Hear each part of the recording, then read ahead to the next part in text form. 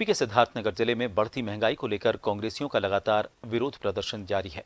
नौगढ़ तिराहे से शुरू होकर गांधी आश्रम होते हुए पेट्रोल पंप पर उन्होंने प्रदर्शन किया। रिक्शा, तांगा और बैलगाड़ी से यात्रा निकालकर विरोध प्रदर्शन किया। वहीं पर केंद्र और प्रदेश सरकार के खिलाफ जमकर नारेबाजी की गई। विरोध प्रदर्शन कर रहे कांग्रेस के जिला अल्पसंख्यक प्रकोष्ठ के अध्यक्ष नादिर सलाम ने विपक्षी दलों, सपा और बसपा पर निशाना साधते हुए कहा कि सपा और बसपा इस महँगाई के समय में बिलों में घुसकर बैठे हैं, लेकिन हम चुप नहीं बैठेंगे। हम लगातार इस बढ़ती महँगाई के खिलाफ विरोध करते रहेंगे।